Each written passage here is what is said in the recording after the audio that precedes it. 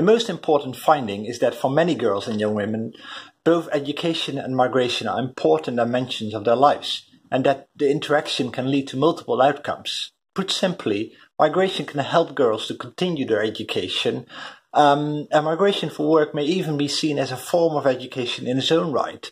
Think of taking up uh, an informal apprenticeships, but also the skills and experiences young women may acquire through migrant work and through the general experience of migration.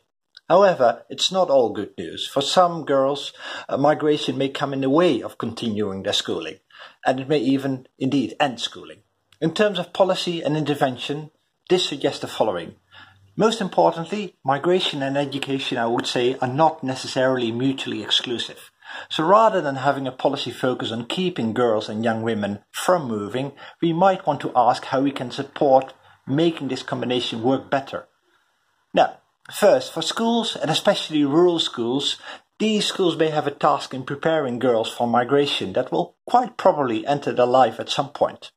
Second, we really need to think about the way education is provided. How can this be done better to allow young women to combine migrant work and education more effectively and realistically? Third, we know very little or next to nothing about various informal apprenticeships. Yet, these often these apprenticeships are often the most realistic options for rural girls and young women and especially those from poorer backgrounds to continue their education. So for this we really need a bit more research in order to provide effective support for these already existing practices